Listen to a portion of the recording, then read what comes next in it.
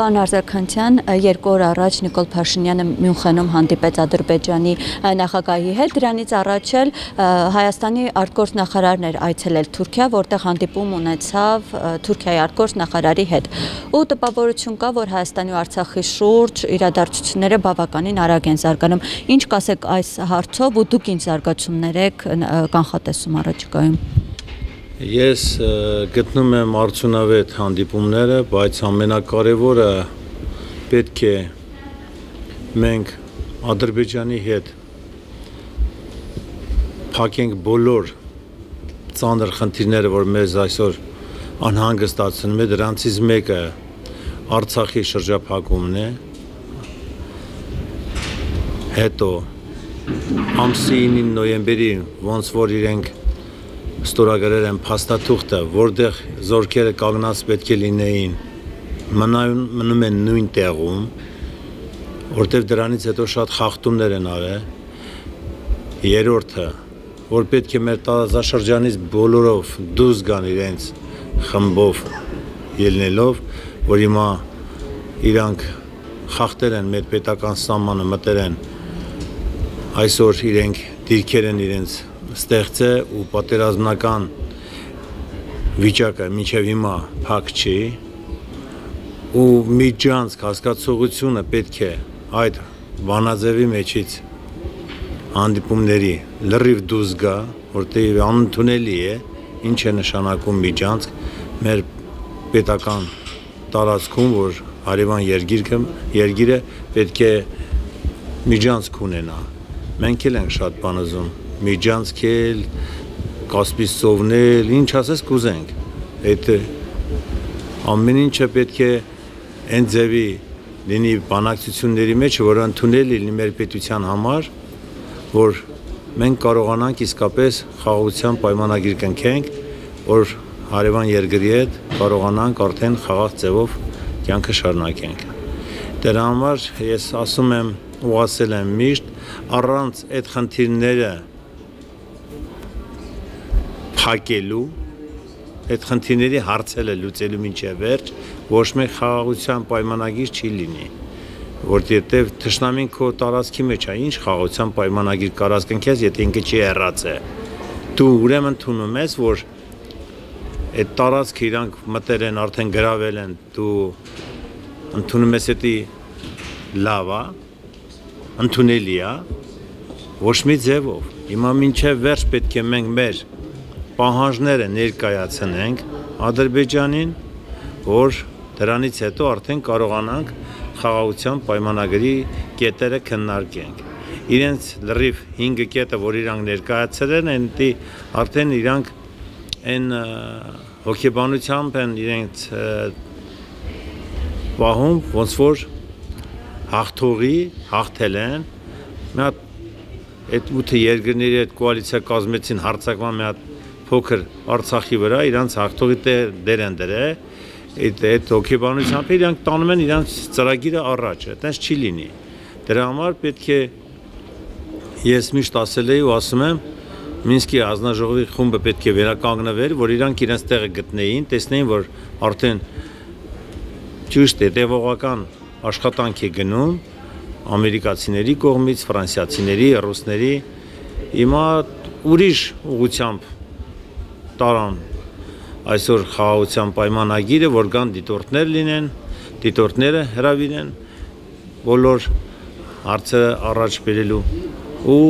հիմա դիտորդների մի մասը գտնվում է մեր տարածաշրջանում, բայց դիտորդները չեն կարա միջև վերջ մեր խաղաղության պայմանագրի հարցը լուծեն։ Այդ լավ է, որ ստեղ են, մենակ ռուսական կողմը չի կարում այդ ամենի կոնտրոլը վերցնի իրեն ձեռքը, որտեվ այստեղ դեմիլիտացիայի խնդիրն է։ Դեմիլիտացիա, դեմարկացիա, եթե մենք անում ենք, ամենակարևորը պետք է այն քարտեզներով մենք անենք, որ իսկապես մենք կարող ենք հետո այդ սահմանները ընդունենք որպես մեր սահմաններ ու այդ սահմանների ելնելով պետք է մենք արդեն Ադրբեջանի հետ Առանց դրա չենք կարող մենք խաղաղության պայմանագիր կնքենք։ Եթե մենք չգիտենք մեր սահմանը որտեղ է, բայց Ռուսաստանի արտաքին գործերի նախարարը Սերգեյ Լավրովը ասում է, որ առանց մեզ ոնց կարան, որտեղ բոլոր քարտեզները մեր մոտ է գտնվում։ Ես գտնում եմ այդպես չի։ Մեր մոտ էլ քարտեզներ կա, հարևան Վրաստանի մոտ էլ քարտեզներ կա, Ադրբեջանի մոտ էլ քարտեզներ կա,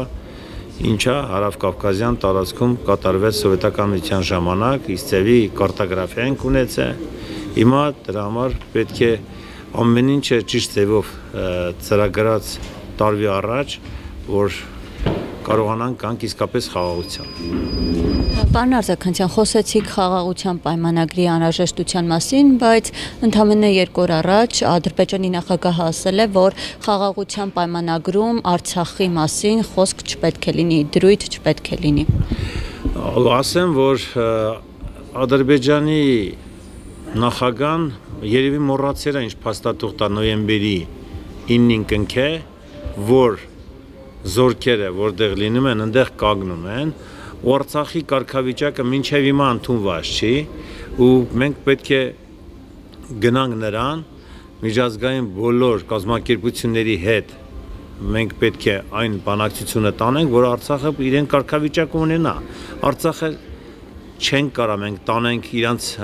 գործընկերների հետ, ասում եմ իրանց գործընկերների հետ, որ Եվրոպայում պայմանավորվեր են, թե ինչ պայմաններով, որ Արցախի ժողովուրդը կարան լինեն որպես փոքրամաս ազգ այդ պետության կազմում, էթնիկ, էթնիկ իրավիճակ չի լինի։ Դա անհնարին է։ Ինքը դրան է տանում, բայց մոռացել է, որ ինքը միշտ հնչեցրել է Արցախ, Արցախ, Ղարաբաղ, հիմա իրենք իրանց թուրքերեն բառերով են արտահայտում ու իրանց ասածն են տանում առաջ, այդ անհնարին է։ Այդ նոր պատերազմի է վերում։ Պարոն Հրզեքանցյան, Արցախը արդեն 2 ամսից ավել է շրջափակված է։ Հայաստանի իշխանությունները ասում են, որ մենք չենք ցանկանում բանակցություններում ներգրավել, քանի որ դա Ռուսաստանի պատասխանատվության գոտին է։ Ձեզ համար Հայաստանի իշխանությունների այս գրավորական կեցվածքը Արցախի մասով ընդունելի է։ Ես հետևողական եմ եղել այդ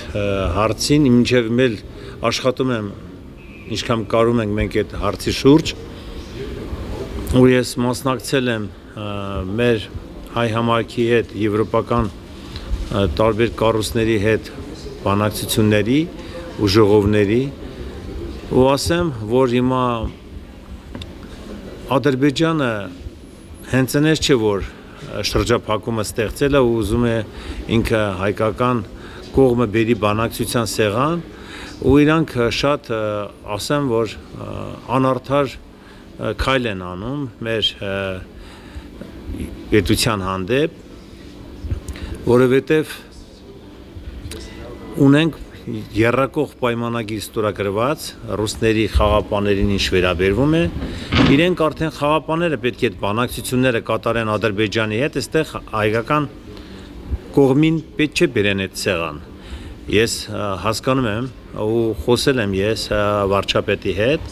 հասկացել եմ իրավիճակը, որ ինքն էլ է ճիշտ ասում, որ հենց հայկական կողմին իրենք վերում են բանակցության կողմ ու իրենք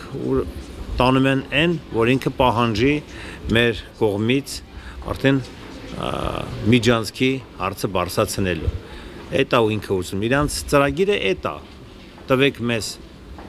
միջանցք, մենք էլ տանք Արցախին ճանապարհը Հայաստանի հետ կապ ստեղծելու համար։ Դե դրան է գնում։ Այդ առևտուր ուզում անի, ինքը պահում է ոնց որ մեր գերիների մինչև չի վերադարձրել, միշտ բանակցության ինքը գործիք է դարձրել։ Դրա համար մենք պետք է ամեն ինչին ուշադիր լինենք, ինչ կետեր է ստորագրված, այդ կետերին հետևողական լինենք ու տանենք մեր փաստաթղթի հիմքի վրա առաջ միջազգային կազմակերպությունների հետ պետք է մենք պահանջենք, որ այսօր ամենակարևորը Արցախի ժողովուրդը ունենան իրենց իրավունք, իրենց ճանապարհի, իրենց կյանքի, կյանքին վերադառնալու, որտեվ հակա մարդկային քայլեր է կատարում այսօր Ադրբեջանի ղեկավարը ամենամեն այսօր terrorist-ը ես համարում եմ ինքն է այսօր, որովհետև ինքը իր երկրի մեջ էլ նույն ասեմ տիրանի ենթարկել տարբեր քաղաքական կառույցների, ընդդիմադիրներին, որը շատերը հիմա բերթերում են ու լրագրողների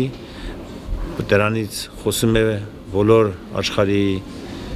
տարբեր կառույցների ղեկավարներ, որ ինքը մենակ չի կարում ժողովրդավարական երկիր կառուցի։ Այսօր տիրանի ենթարկել ու այդ մտածված քայլերով էլ ուզում է Արցախի վրա ձեռք տնի ու իրեն սև գործը կատարի, ինչ ասեմ, էտա պետք է իրան կարգիր ավիրել, որտեվ ես գիշեր ցերեկ կոչ եմ անում մեր սփյուռքի հայերին, բոլոր միջազգային կառույցներին, որ պետք է արկելափակում դրվի իրենց բոլոր հաշիվների վրա, մուտքի, ելքի, գազի, վաճառքի, նեֆտամթերքի, որ իրանք պատժամիջ առանց պատժամիջոցների իրանք չեն կարա ոչ մի բան զգան անպատիժ որ մնում են, այդ, այդպես էլ շարունակվում է։ Ցավոք սրտի այսօր աշխարհը կարիք ունի էներգոռեսուրսների, շատերը կուլ են գնում հենց դրան, չեն խոսում, շատ վատ է, որ իրենց շայելից ելնելով այդ ամեն ինչին գնում են, թույլ են տալում այս իրավիճակը ստեղծվի ու ստեղծված իրավիճակը շարունակվի, դա ամենավատն է, որ այսօր եվրոպական շատ երկրների ղեկավարներ իրեն ընդունում են ու տեղ են տալիս ու բանակցում են, առևտուրը շարունակում են, չէ որ ինքը այսօր հանցագործ է, հանցագործ է, 120 հազար հոգի պատանդ է վերցրել։ Պարոն Արզականցյան, բարբերաբար դուք արտախորհրդանական ուժերի ֆորմատի շրջանակներում հանդիպումներ եք ունեցել Նիկոլ Փաշինյանի հետ։ Այն ինչ տպավորություն եք ստացել, ինքը ինչպես է պատկերացնում Նիկոլ Փաշինյանը, ինչպես է պատկերացնում հայ-ադրբեջանական հարաբերությունների կարգավորումը Արցախի հարցը Թուրքիայի հետ հարաբերությունները։ Ասեմ ձեզ,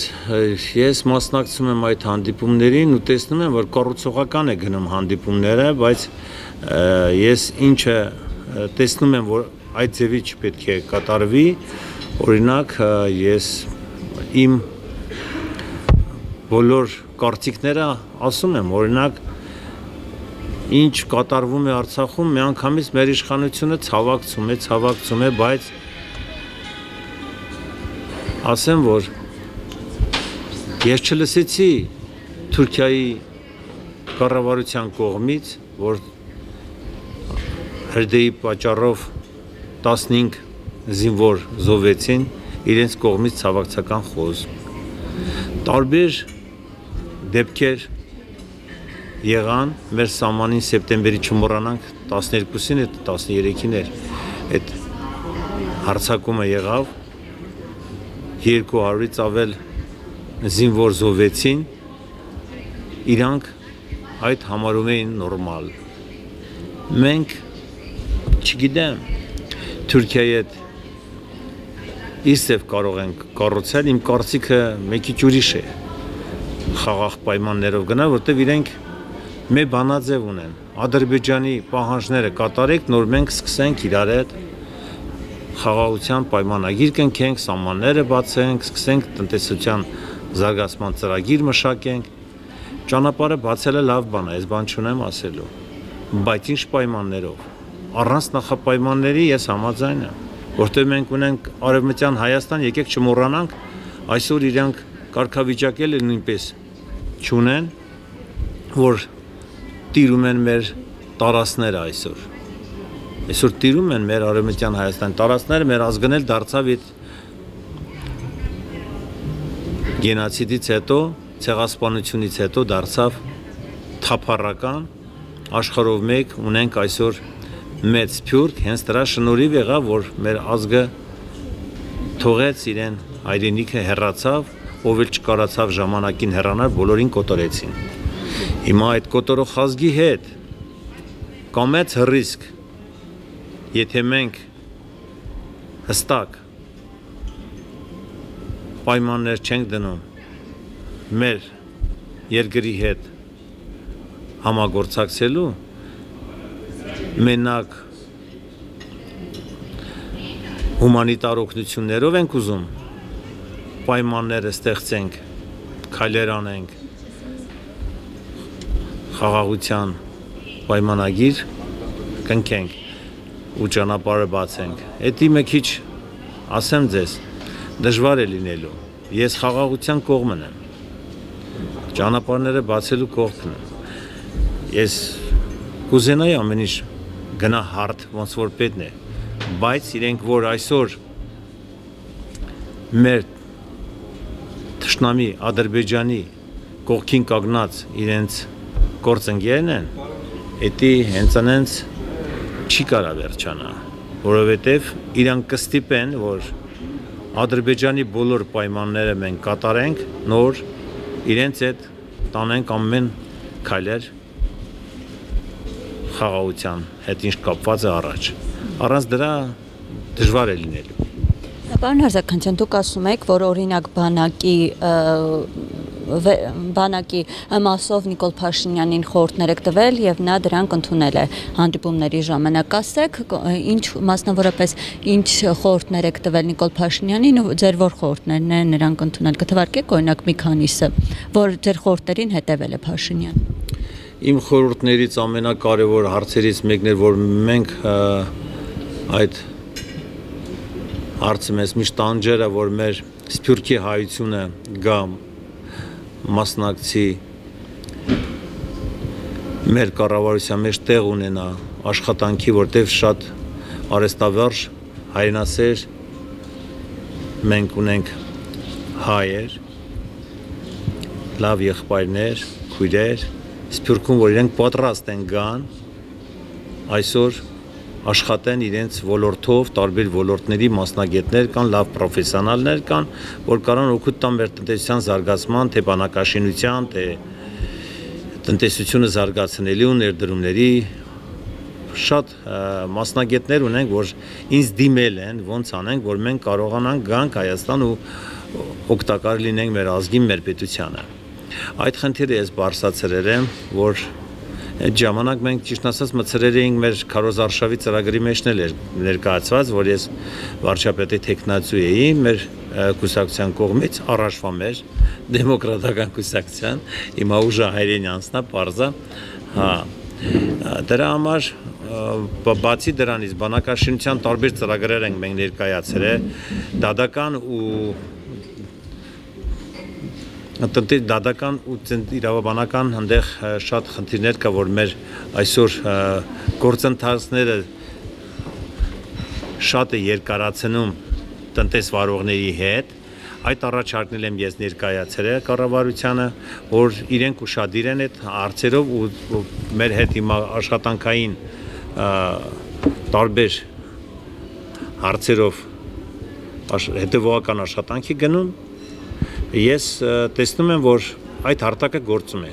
Դրա համար հետևողական ենք մենք։ Արցախի եւ բանակի մասով օրինակ ինչ որ առաջարկներ, խորհուրդներ տվել եք Նիկոլ Փաշինյանին ու նա ինչպես արձագանքել։ Ուրեմն Արցախի հարցով հենց առաջից ամեն ինչը սկսում, այնպես չէ որ անտարբեր ենք մենք Արցախի հարցով, մանավանդ ես շատ եմ մտածում, որովհետև ինձ տանջում է Արցախը ես միշտ համարել եմ մեր մարզերից մեկն է, որ պետք է մենք տեր կանգնենք մինչև վերջ։ Հիմա ինչքան կարանք դիվանագետորեն պահենք, որ նորից պատերազմ չսկսվի ու մենք հզորանանք նոր խոսանք արդեն ուժի ուժի լեզվով հիմա ես այդ ձև եմ մտածում տարբեր այսօրվա իշխանություն իր ձևը մտածում ինչ ասեմ այսօր ես իմ առաջարկները ներկայացրել եմ։ Հիմա ես չեմ կարող հայտարարեմ ինչ առաջարկներ հնարավոր է ու ինչպես նա արձագանքել, որոնք հնարավոր է մի քանիսը։ Հիմա որոնք հնարավոր են, այսօր ամենակարևորը որ պետք է ժամանակ ընթացքում մենք պետք է ոչ թե մենակ ունենանք ուժեղ բանակ ու զենք սինամաթերք, այլ պետք է ունենանք լուրջ բանակցության մենք հանդիպումներ, արդյունք բանակցությունների, որը պետք է ամենակարևորը մենք այսօր ռուս խաղապաների հետ էլ պետք է շատ լուրջ պահանջներ դնենք, խոսենք, որտեղ ռուս խաղապաները այսօր մեծ գործուն ունեն այս ամեն գործի մեջ է, որովհետև այսօր ինչը վստահել է վստահել ենք մեր ռուս խաղապաներին ու իրենք իրենց պարտականությունները չեն կատարում։ Եթե կատարեին, այնտեղ չէին գտնվի բնապահպաններ այլյա բնապահպաններ, կեղծ բնապահպաններ, որը այսօր գնում են ռուս խաղապաների աշխատանքը խանգարում են, բայց ռուս խաղապաներն էլ ունեն այնտեղ տարբեր միջոցներ ու իրավունքներ, որ կարող են իրենց աշխատանքը կատարեն ոնց որ պետն է։ Ես գտնում եմ այսօր շատ մեղավորության կողմը այսօր համ Ադրբեջանին է, համ էլ ռուս խաղապաներին է, որովհետև եթե ասեմ ռուս խաղապաները իրենց պայմանավորված պայմաններով իրենց գործը տանեին առաջ, այս այսպես չէր լինի։